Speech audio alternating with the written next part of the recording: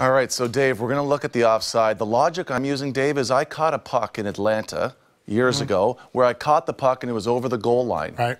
And because it was over the goal line, it counted as a goal because Right. there was a vertical line Right. in the NHL net that goes all the way to the uh, crossbar. And I see the blue line right now, and So this that is, represents the vertical line. it's got to be goes the vertical ceiling, line right? here that goes right to the ceiling of Madison Square Garden. You can see the skate.